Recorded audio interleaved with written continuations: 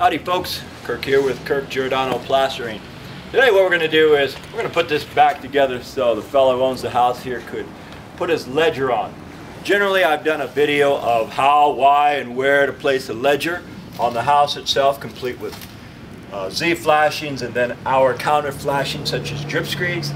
On here the fellow wants to put the ledger board on the outside, to put a couple spacers so he's going to use pressure treated so the water goes behind it we were set to just paper this. And I said, well, gee whiz, if you're going to do it that way, at least let's go with the Grace membrane. That way, when you lag bolt that ledger board into the studs here, we're not just going through paper. I prefer to go through a, a membrane. I just come here and so we pulled this piece off. And because the threshold is a little beat up, meaning it's seen better days, we're going to take this off here and then we're going to place a a grace membrane on top of here and underneath, then put that back, then this grace is going to go over this paper. What we're also going to do, and we'll show you how we do it, is this stuff here, this Vycor, Vycor Plus, grace membrane, it, all, it, it works the same, it works real well. We're going to figure out where the ledger board's going. Then we're going to place this so it, it comes up two inches above the ledger and goes down two inches, and we're going to counter it with paper. That way when they do lag bolt in it, they're lag bolting through this stuff here and it seals those lag bolts. And yes, I have seen them leak.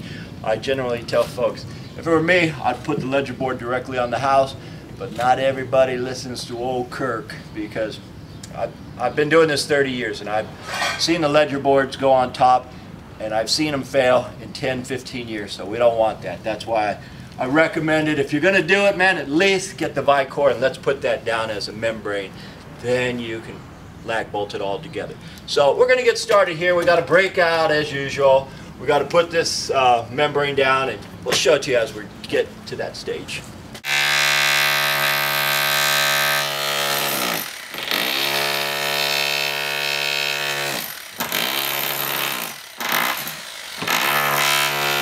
Okay guys, we are at the stage where I'm going to go ahead and place this Vycor. I guess Grace makes Vycor. Now they Here's where they had their ledger board originally. It was a six inch ledger board. I advise them to get one, one foot of this because we want three inches above and three inches below. So this point here has got to be where the ledger board starts and depending on the width of it, um, as far as I know they might go with an 8 inch, uh, which will be about down here. We've got to cover this paper. And we've got to allow room for whatever deck material. I've seen guys put ledgers on here and then I said, fellas, when you put your wood on it, the door's not going to open. So remember that. I've seen it happen. Okay, granted their ledger is going to go about right here. Now, now that we got all this paper done here, I just stuck some Fortiflash, Fortifiber right here. And over here on this old window, that's an 80 year old house. So I, I use this Grace membrane as a L flashing. Now what I'm going to do is I'm to peel and stick this stuff here. This stuff does take a little bit of time to do, but it's well worth it because it'll seal everything.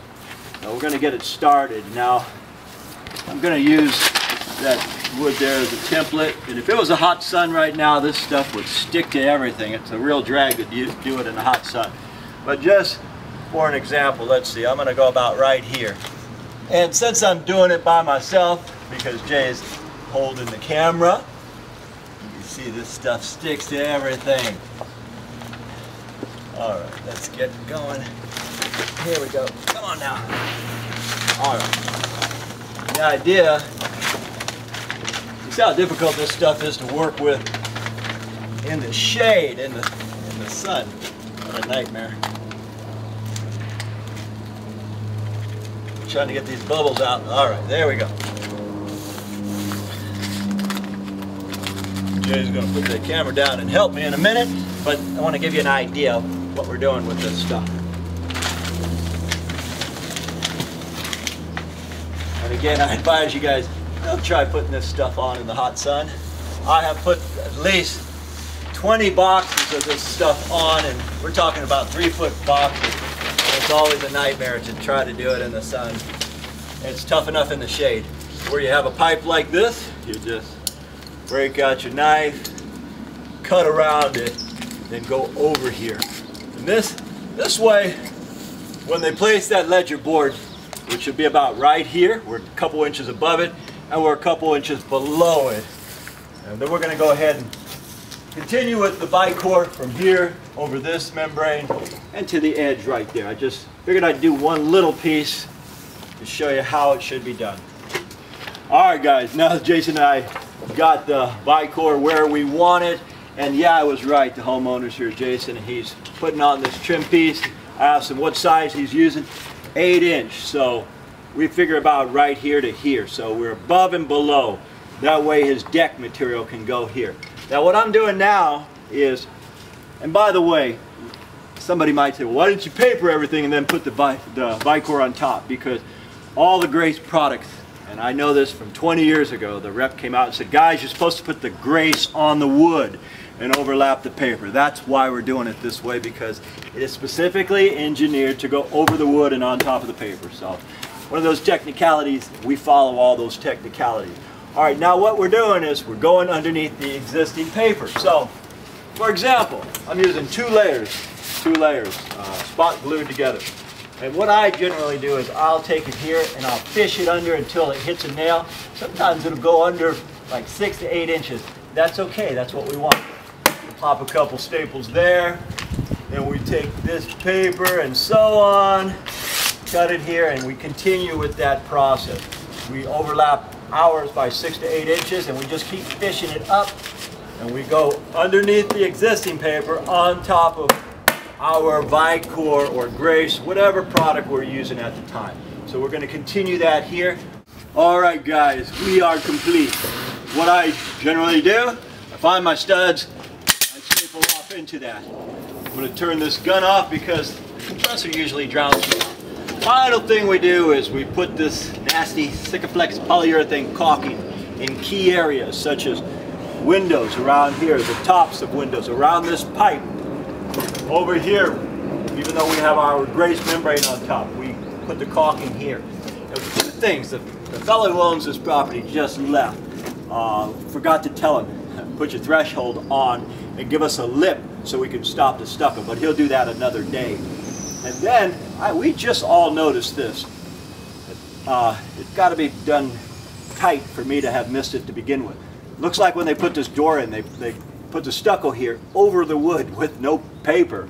So once he builds a deck, he's going to rip this part out again. And we're going to come back and redo this because there's just paper here. So all we can do is the best we can with what we have to work with.